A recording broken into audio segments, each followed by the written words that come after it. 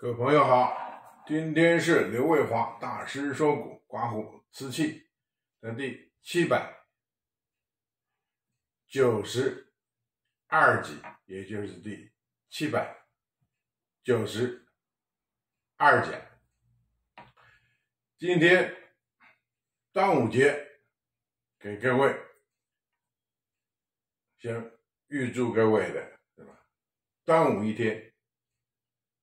快乐幸福，别忘记喝中天的水啊，午时的水。我们端午是我们的三大节日的重要的一项。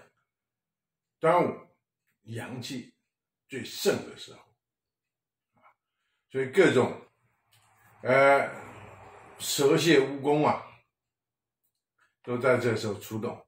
所以第一个也要注意环境的卫生。来注意环境的清洁跟消毒，要注意安全啊！人呢也处在比较容易浮躁的时候，要稍微让自己 cool down 一下啊，伤伤瓷器啊，伤伤我们的瓷器，然后让自己的心诚意正，然后让自己哎能够在这个这个赏心悦目的情况之下，过一个好的端午。过一个好的端午，能够什么？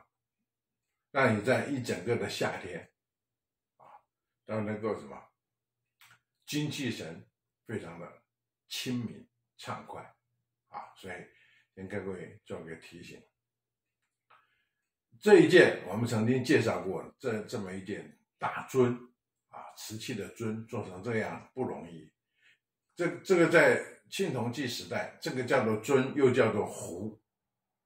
那个时候壶就长得这个样，可是我们一般称为尊啊，就尊贵的尊，尊重的尊，但是摆酒器，又是生活用器。当然，生活用器不是泛泛之之辈可以用的，那一定是君王之用啊，在古代的贵族君王用的这种青铜器，有这样的一个讲讲究的造型所谓的吉尔吉尔。然后青铜壶或者吉尔是吧？青铜尊，那个青铜器时代的青铜，另外一个名称就是金啊，就是金，就是相当于黄金啊，相当于黄，肯定重重视的程度。所以我们现在故宫一办什么展览，都讲哎，国之重器，展览的是国之重器，你不要问，那就是青铜器。所以，我们这是借鉴青铜器而过来的一个一件尊这么样的一个造型，所以它本身来说也是一件礼器。它除了是一件观赏器、陈设器，它同样它也是一件礼器啊，所以它是非常的尊贵。什么时间的呢？宣德八年，不是我说的，因为上面有题诗。宣德，据我所知道，宣德画人物的都非常少。要真有画，也是画女人，所以宣德多女是吧？所以永乐无人，宣德多女，这行业内都知道的一句俗俗话。永乐无人，宣德多女。但是宣德跟永乐基本上都很少画人物，因为书法已经太浓重，画人物不好画。哎，偏偏我们这件不但有画人物，而且画的是有名的画边人物故事图，昭什么昭君出塞。就王昭君啊，王昭君，是不是嫁给呼韩耶啊？呼韩耶那个单于，就代表国家，代表国家等于合婚啊，等于说这个这个匈奴啊来求婚，来求婚，然后汉室汉宣帝派的昭君，王昭君，王昭君的本名叫做王强。啊，字昭君，后来又被历史上称为明妃。为什么称为明妃？因为跟司马昭的昭字有所避讳，所以就干脆称她之为明妃啊，日月明。而我们这上面题诗，而且有纪年。据我知道，宣德画人物的就很少，宣德画人物而且有纪年款的，又有题诗的，应该是绝无仅有。是吧？国色天香，二两提的是国色天香，这个这个非常有这一定，一听到国色天香就知道是讲的是昭君。当然，我之前我不特别强调的这一点，那现在我再拿出来讲，是因为有也是有资深的藏家啊，在在下面表达他的意见，说是昭君出帅，我我我认同啊，我也肯定啊，这一点绝对没有问题。就我拿出来就再讲一遍，我原来不特别提，是因为昭君出塞是元青花上面的重要的画片，而且元青花昭君出塞，而且数量不多。总共在博物馆里面的人物故事图，全世界只有八件。日本有名的，呃，这个出光美术馆的那一件很有名，它也是荷叶盖罐，它也是一个盖盖罐，它是罐子，没有像我们的尊这么这么样的显得尊贵的，它就是一个罐子，大罐子，上面一个荷花盖子，荷花叶形的盖子。但是他们昭君书上画的很漂亮，啊，人物啊马各方面的画的都都很到位。青花发色都很到位。后来就说，首都博物馆的那一件，啊啊，有人去打枪啊，说只认同日本出光美术馆。那不管，那他们之间的事情。昭君出塞原来就是在元青花的一个人物故事。那我们从我们这一件来说，我原来不特别提。那既然有人这么提，那我也就再把它啊，跟各位把它做一个连贯的一个思考。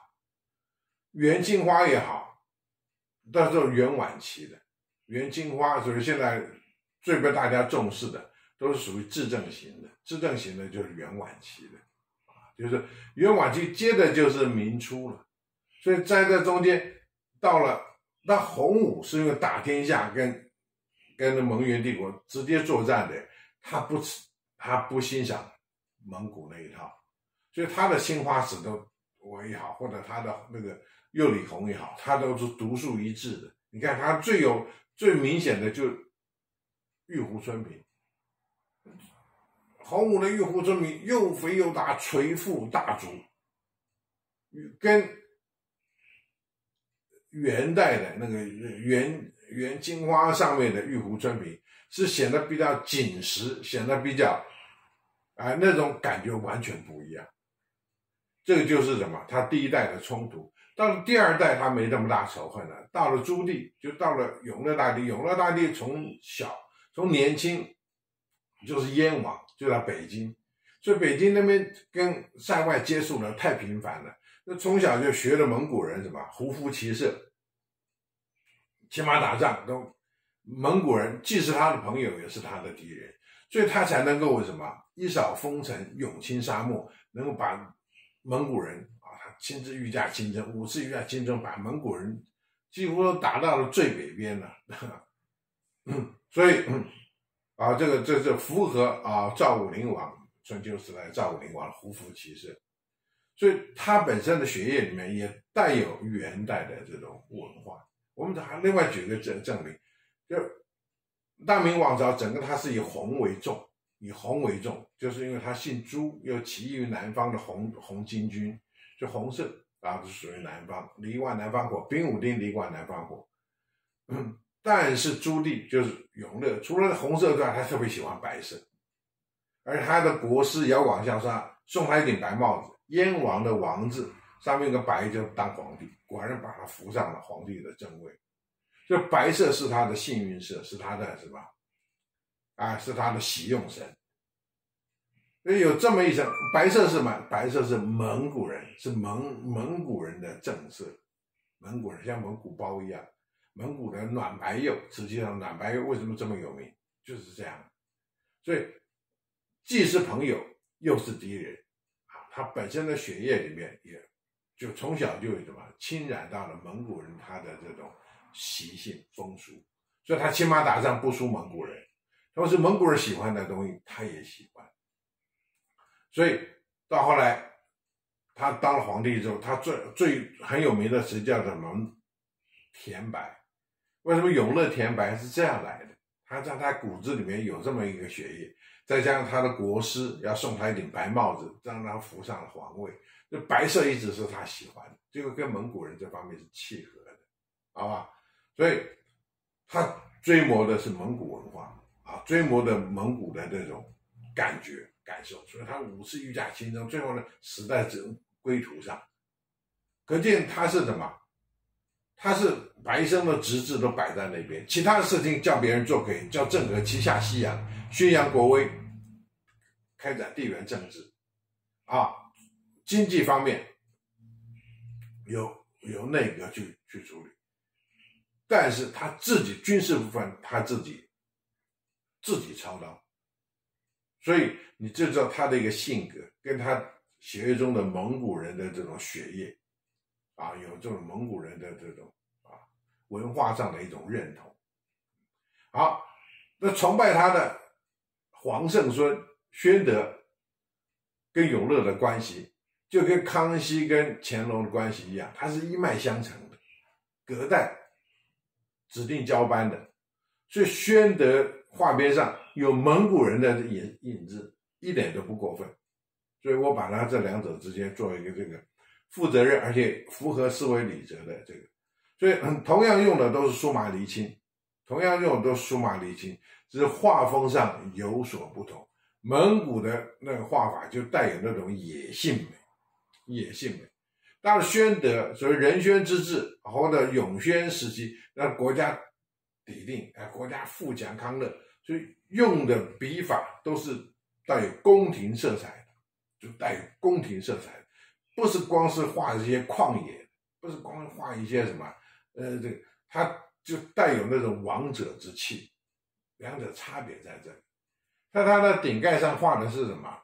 松竹梅，松竹梅，而且这颈部画的也是松竹梅啊，吉耳，因为加上呃吉耳，加耳的啊，加耳的瓷器，元代元青画上喜欢用。那有名的那个元青花，所以现在在大英博物馆，原来就属于大威德基金会的大威德收藏品，又叫做大威德瓶，啊，象耳瓶，它是象耳，我们的吉耳，啊，吉耳，哎，这方面就有元青元青花的那种身影，画的画片就是就是人物故事图，元代的什么人物，这戏杂曲各方面比较发达。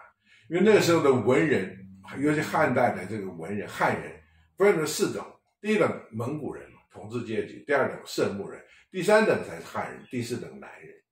所以很多的艺术家那时候都都向于什么啊？去烧窑瓷器上画边，啊，去画瓷器啊，或者就是文都落魄的文人啊，落魄的文人在意外的情况下，造就了元青花的这种艺术的艺术之。之美啊，那我们这边跟元青的画边接近，但是没有完全一样，完全一样那就是仿的了。所以外面现在很多昭君出塞图比比皆是，百分之什么九十九点九九九都是仿的，那不要看，更不要细看。那我们这一件画边完全不一样的画边，又带有那样的味道的画边，哎，带元青花的那种身影。可是又具有宣德画人物，宣德原画人物，他有一种特殊的那种画画法。这是尤其是这个这个宣德靠了我后期，宣宣德总共才十年，他到了后期的话，就是空白期的那种味道已经有了。比如说铁索云，做场景的区隔用铁索云，还有人物身上用的飘带，所以我一度也把它。当做是什么空白期的，可是后来仔细沉淀下来看，空白期真的是做不出来出来像这样水准的，而且这样的一件什么兼做礼器的。空白期那时候已经是什么，又叫做黑暗期，是御窑厂是最衰败的时候，而且那时候数款也不敢数。因为皇帝两个皇帝兄弟之争，你不想谁争赢了，你数错了要杀头的。所以那时候处在一种乱世，多半都是不数款，而且那时候画的画风上都率性草率，都是一些隐士啊，画一些什么跟政治各方面不沾边、不不沾边的东西啊。我想这个虽然是昭君出塞，也是人物故事，但是他人物故事他有牵涉到一定的敏感度啊，他是。这个这个这个汉元帝，这汉元帝的时期，汉元帝的时期，宫女啊，嫁给呼韩邪这个单于，呼韩邪单于是属于南单于的这一支的王，北单于是呼韩邪单于呃呃单于的哥哥，但他哥哥势力比他大，压制了 这个南这个这个压制了那个南匈奴，那南匈奴来进贡。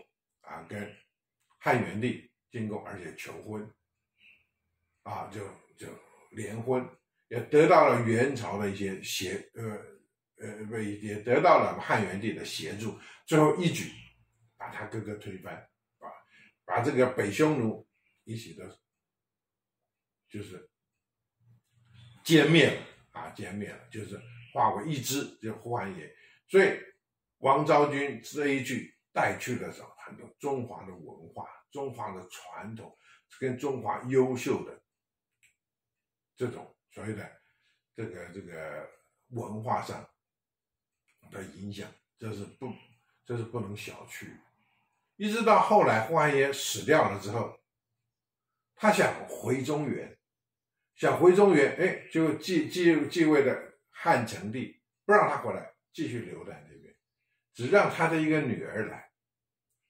所以王昭君是一个什么很很凄美的故事，但他在历史上有浓重的一笔，他对国家有相当大的一个一个帮助。所以昭君出塞是一种什么浪漫的啊文学的，它也兼杂兼含了一些什么政治上，因为它就是一个政治联姻、政治下的产物，而且造成了边塞的安定、稳定跟平静。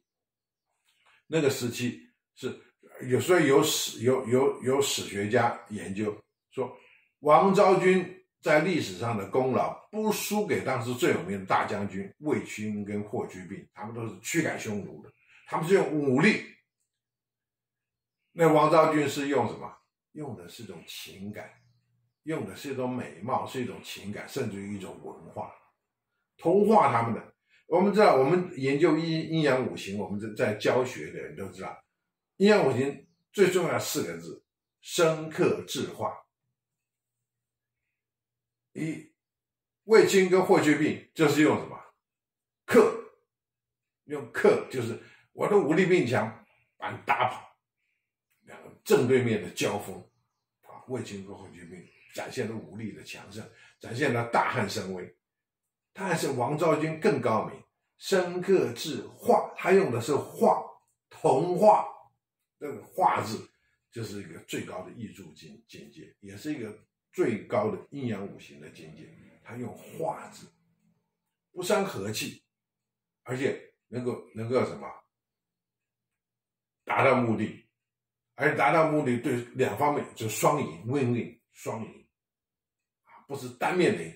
因为正面交锋只有一将一个赢家。我们天天看拳击赛，或喜欢看拳击赛，UFC 格斗啊完全品的这种格斗，两个即便两个都是冠军，都没有败过的人，上场打一架，也也要有一个是王，一个是寇，一定要一个赢一个输，唯独这用画的方式是双赢，win-win 啊，所以这是高明。顺便讲了他他的一些历史上的故事。她在我们中国是四大美女，排名老二的。所以呢，什么？沉鱼落叶，闭月羞花。沉鱼讲的是西施。我们小的时候，我我读小学一小学一年级、一二年级嘛，就被带到基隆。那时候在基隆，我们那时候基隆东信国小被带去看了一场免费的电影《西施》，当时拍的春秋时代，国家很重视，那时候重视传统啊。中华传统，就看西施有勾践复国了，吴王夫差啊，派美色西施。那时候西施是什么？啊，单于，呃，那个落叶，落叶就是指的王昭君啊。当然，这个在历史上她是四大四大美女之一啊，非常非常的有。而且最主要，他的一些西施也好，王昭君也好，他们除了自己美，他们他们用他们的美色对国家产生了关键性的影响。一个是诱惑夫差，一个是什么？去同化了呼韩一些单于，就把整个的南匈奴，甚至于到了北匈奴，整个把它统一起来，跟汉的文化能够结合，跟汉能够什么联手。所以那时候整个国家是处在富强康乐，而且不费一兵一卒。所以我们这上面就有昭君出塞。其实我们这上面的诗啊，各位可以看，我就不做介绍了。呃，这个这个所谓的啊，国色天香。那真正写王昭君的诗，历史上非常多。最有名的一个是谁的诗呢？最有名的是杜甫，诗圣杜甫的诗啊，对吧？这个万山万货啊，什么？进门，进门是什么地方？就是长江三峡，比较靠缓、比较缓和的地带。那发脉的之之处呢？啊，它来的很急。我们看风水学上的有有什么？发脉的主心有什么？池楼别殿，那叫发脉。落脉就出进门，就是那个啊，那个呃，那个所谓的呃。大意失荆州的进进门，到了这边就趋缓，接着结穴，结穴在谁？就结穴在王昭君的故乡，结穴在王昭君的故乡。然后这首诗又讲到，王昭君自从一出的皇宫，他的命运就开始颠沛流离，就开始过苦日子。从一踏一一离开皇宫，一一直到他的什么？最后结为一亲种，亲种就是王昭君的墓的别称，叫做亲种。那亲种可怜，他人一直想回来，都回不来。最后为了国家牺牲，他死也死在匈奴，死在塞外，所以他的坟叫做亲种，就是就是留什么留青种什么向黄昏，就是让你有那黄昏那种那种怎么讲？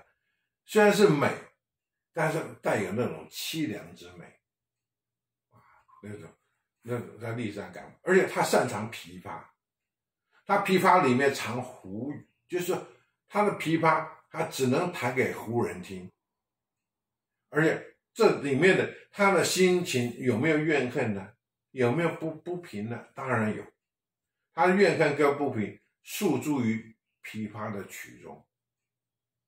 就是他这首诗写的哇，完全那种意境，那种意境，而且有所谓的画境，都出现在这个诗中啊。诗这诗中有画，画中有诗，那种什么，那种尺幅千里的感觉，那给人看到这时候就感就像看了一幅画，那尺幅千里啊，那个大漠的那种感觉，其实我们的画上都有，不管是出昭君出塞。有人有胡人帮他撑了，我们讲的像雨伞一样的华盖啊，那是那是那个那个是贵重人家出来才才有的。你看，一直到现在，那个那个英国威廉王子到哪里也喜欢带把大大伞，也是帮他的太太，帮他的王妃啊撑着，或者旁边的助理帮他撑着伞。这在古代就称为华盖，就在最尊贵的人他才有这个啊。所以，我们紫微斗数华盖星呢，也就代表一种关心啊，也代表一种关心。所以，这样的一种感觉，最下面的这就是波涛，叫做江崖海水纹。江崖海水纹就代表一种江山，江山永固，这样的一种感觉，就感觉感觉上很凄美。他为了国家，为了江山，为了社稷，牺牲自己。当然，这中间还有很多故事的，比如说毛延寿，那宫廷画师为了贪钱。每一个宫女要画的漂亮，就要给他给给他银子。那王昭君是个正派人，他不来这一套，没给银子，好，毛延寿给他画的丑不拉几的。等到要合婚了，他跟汉元帝辞行的时候，汉元帝一看，这么这么沉鱼落雁之美，哇，这这后悔了，不就是想把这个成成命收回？可是君无戏言，后悔，后来把那毛延寿给问斩，这个贪污，而且把他画的那么丑，跟跟实际状况有落差，这都写在杜甫的这首诗上，这首诗里面，对吧？这画图什么，也是春风面，就是他把这个这么漂亮的一张春风的脸，他把它隐藏起来，所以环佩啊，独归是吧？月月魂，就是造成了这个千古上的这样的一个遗憾。当然，这个遗憾，这个凄美的故事也造就了什么？对国家的这种帮助啊，所以所以说，还有具有文学之美，具有艺术之美啊，具各方面的啊，还又又具有相当的故事性。但是它最终是一种，不要忘，它是一种政治的联姻，达到了政治的效果啊，这是一个成功的这么一件政治合婚。好，我们今天就啊，先给各位照一照，我们再结束哈啊，因为这个。之前有有讲过，我只把这个跟大家再做一个重述。为什么我当初没有把它归类？那现在我要把它归类，因为人家讲的有有有道理。我们还是要就事论事啊，我们不要去避开这个这个元青花。我们这个跟那个跟那个现在后仿的元青花完全是两码事。你看这个骑马的这个人人物，又有元代元青花的那种有元代的这种身影。有元代的这种身影，哇，它太重了，我不好转，要很小心。只能给各位稍微一下。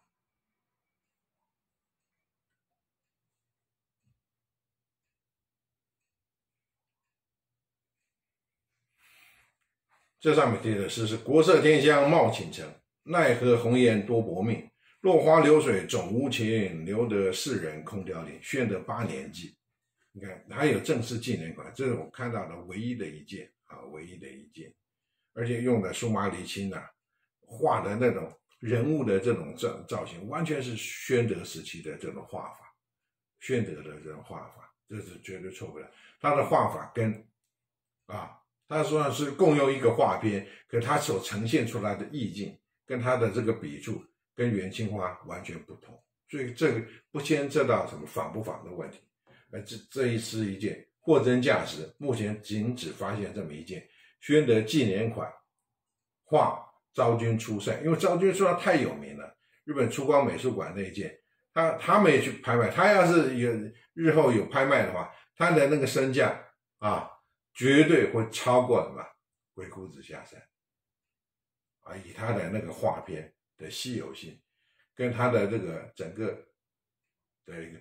艺术性的这种表现上，跟他的这个本身的故事，他的故事的吸引人的一个程度上，那等于说是比那鬼谷下山大怪，那等级层次上又要什么，又要略高了半筹啊！所以我们我们有这么一件荣幸，既然有这么一件，所以有些朋友开玩笑说那什么国宝都到你家的啊哈哈。对？这个这个可能是带一点玩笑话了啊。所以大家都有国宝啊，你我心中都啊都有很多宝物。好，今天我们就说到这里，谢谢各位。